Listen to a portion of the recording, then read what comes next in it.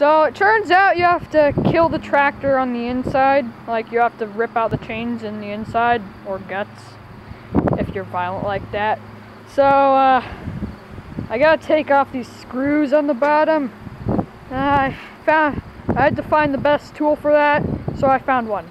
A hammer!